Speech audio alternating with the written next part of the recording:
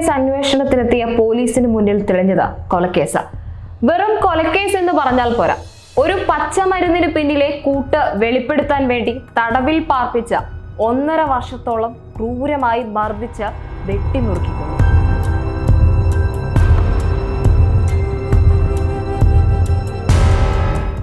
മൈസൂരു രാജീവ് നഗറിൽ മൂലക്കുരുവിന് ചികിത്സിക്കുന്ന ഷാപ്പ ഷെറീഫ് എന്നയാളാണ് കൊല്ലപ്പെട്ടത്.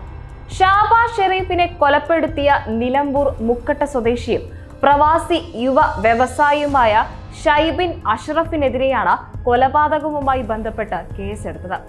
ഇയാളുടെ വീട്ടിൽ ഒരു സംഘമെത്തി ഷൈബിനെ ബന്ദിയാക്കി. ഏഴ് ലക്ഷം രൂപ കവർന്നെന്ന കേസ് അന്വേഷിക്കുന്നതിനിടെയാണ് ഇയാൾ നടത്തിയ കൊല പുറം ലോകം അറിയുന്നത് കഴിഞ്ഞ ഏപ്രിൽ ഇരുപത്തിനാലിന് ഒരു സംഘം തന്റെ വീട്ടിൽ കയറി മർദ്ദിച്ചെന്നും ലാപ്ടോപ്പും പണവും മൊബൈലും കവർച്ച നടത്തിയെന്നും കാണിച്ച് ഷൈബിൻ നിലമ്പൂർ പോലീസിൽ പരാതി നൽകിയിരുന്നു. ഈ സംഭവത്തിൽ പോലീസ് ഏഴ് പേർക്കെതിരെ കേസ് രജിസ്റ്റർ ചെയ്ത് ആറുപേരെ അറസ്റ്റ് ചെയ്തു. ഈ കേസിലെ പ്രധാന പ്രതി നൌഷാദിനെ കസ്റ്റഡിയിൽ വാങ്ങി തെളിവെടുപ്പ് നടത്തിയതോടെയാണ് ഷൈബിൻ നടത്തിയ കൊലപാതകത്തിന്റെ ചുരുളഴിഞ്ഞത്. ഈ സംഭവത്തിൽ ഉൾപ്പെട്ട അഞ്ച് പ്രതികൾ മാർച്ച് ഇരുപത്തി ഒൻപതിന് സെക്രട്ടേറിയറ്റിന് മുന്നിലെത്തി പരാതിക്കാരനെതിരെ ഗുരുതര ആരോപണം ഉന്നയിച്ച് തീ കൊളുത്തി ആത്മഹത്യാ ശ്രമം നടത്തിയിരുന്നു. സംഭവത്തിൽ തിരുവനന്തപുരം കന്റോൺമെന്റ് പോലീസ് ഇവരെ കസ്റ്റഡിയിലെടുത്ത് നിലമ്പൂർ പോലീസിന് കൈമാറി. ഷൈബിൻ അഷ്റഫിനെതിരെ കൊലപാതകം ഉൾപ്പെടെയുള്ള ഗുരുതര ആരോപണങ്ങളാണ് ഇവർ ഉന്നയിച്ചത്. തെളിവ് ദൃശ്യങ്ങൾ ഉൾപ്പെട്ട ഒരു പെൻഡ്രൈവ് പോലീസ് പരിശോധിച്ചതോടെയാണ് കൊലപാതകം നടന്നതായി മനസ്സിലാക്കിയത്.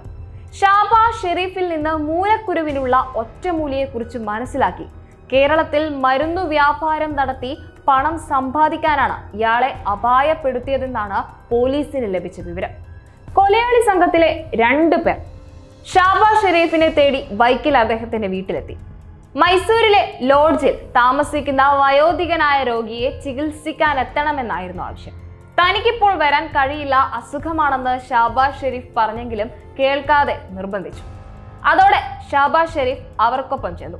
എന്നാൽ ഷാബാസ് ഷെരീഫിനെ നേരെ എത്തിച്ചത് ഷൈബിന്റെ വസതിയിലായിരുന്നു. അവിടെ വെച്ച് ഒറ്റമൂലിയെക്കുറിച്ച് പറഞ്ഞു തരാൻ ഷൈബിൻ നിർബന്ധിച്ചു. എന്നാൽ ഷാബാസ് ഷെരീഫ് അത് പറയാൻ തയ്യാറായില്ല. അതോടെ ചങ്ങലയിൽ ബന്ധിച്ച് ഒന്നേകാൽ വർഷത്തോളം തടവിൽ പാർപ്പിച്ച് മർദ്ദിച്ചു. മുഖത്തേക്ക് സാനിറ്റൈസർ ഒഴിച്ചു. കൈയും കാലും കെട്ടിയിട്ട് ഉരുട്ടൽ മുറ പരീക്ഷിച്ചു. വലിയ മരക്കഷ്ണങ്ങൾ കൊണ്ട് അടിച്ചു. മർദ്ദനം താങ്ങാനാവാതെ ഷാബ മരിച്ചു വീണു. മരണം ഉറപ്പാക്കിയതോടെ ഒരു പലകയിൽ മൃതദേഹം കിടത്തി ഇറച്ചി വെട്ടി നുറുക്കും പോലെ വെട്ടി നുറുക്കി സഞ്ചിയിലാക്കി പുഴയിലേക്ക് വലിച്ചെറിഞ്ഞു. ഈ ദൃശ്യങ്ങൾ പ്രതികൾ പകർത്തി സൂക്ഷിച്ചിരുന്നു. ഷാബ ഷെരീഫിനെ കാണാനില്ലെന്ന് കാണിച്ച് ബന്ധുക്കൾ മൈസൂരു സരസ്വതിപുര പോലീസിൽ പരാതി നൽകിയിരുന്നു.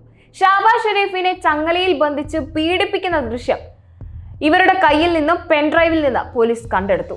ദൃശ്യത്തിൽ നിന്ന് ബന്ധുക്കൾ ഷാബാ ഷെരീഫിനെ തിരിച്ചറിഞ്ഞു. കൂടുതൽ തെളിവുകൾ ശേഖരിക്കുന്നതിനായി മലപ്പുറം ജില്ലാ പോലീസ് മേധാവി സുജിത് ദാസിന്റെ നേതൃത്വത്തിൽ പ്രത്യേക അന്വേഷണ സംഘത്തെ നിയോഗിക്കുകയും ചെയ്തു. അക്ഷരാർത്ഥത്തിൽ മനുഷ്യ മനസ്സിനെ ഞെട്ടിച്ച അരുംകൊല. മൂലക്കുരുവിന്റെ ഒറ്റമൂലിക്ക് പിന്നിലെ സത്യാവസ്ഥയേക്കാൾ ഒരു മനുഷ്യനെ ഇത്രയും ക്രൂരമായി തടവിൽ പാർപ്പിച്ച് കൊന്നതാണ് ചിന്തിപ്പിക്കുന്നത്. ചുറ്റുമുള്ള വാർത്തകളും വിശേഷങ്ങളും അറിയാൻ ഞങ്ങളുടെ ചാനൽ സബ്സ്ക്രൈബ് ചെയ്യുക അപ്ഡേറ്റുകൾക്കായി ബെൽ ബട്ടൺ അമർത്തുക.